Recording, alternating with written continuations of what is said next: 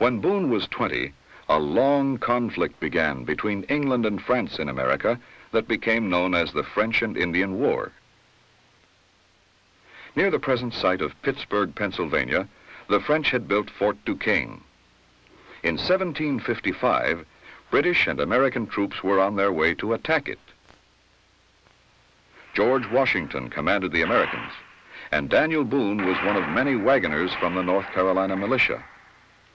The British and Americans were defeated in that battle, but in 1763, after nine years of war, England had won, and France surrendered to England nearly all the territory it claimed east of the Mississippi.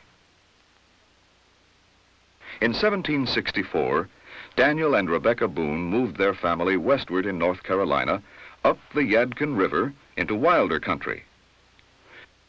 During the next few years, Boone roamed through all this area, hunting and exploring east and west of the Alleghenies.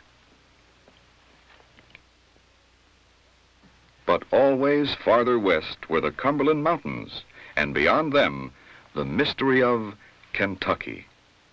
From the few hunters who had crossed the mountains, Daniel Boone had learned that Kentucky was a land rich with game, a fertile land where a man might grow wealthy.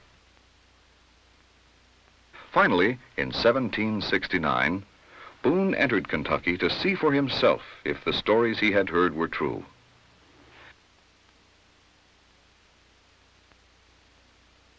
Leaving his Yadkin home with five other men on what was meant to be a hunting trip, Boone set off for the Cumberland Gap, a passage through the mountains. Today, a highway follows this passage through the Cumberland Mountains between Kentucky and Tennessee.